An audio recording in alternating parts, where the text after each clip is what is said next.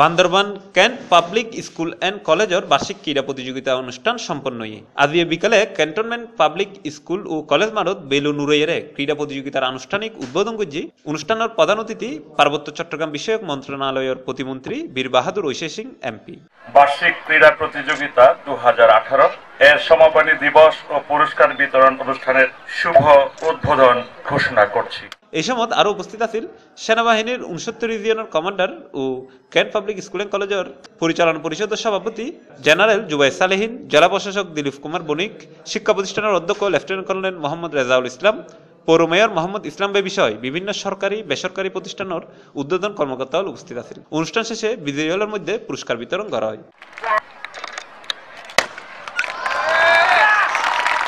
desk news C plus TV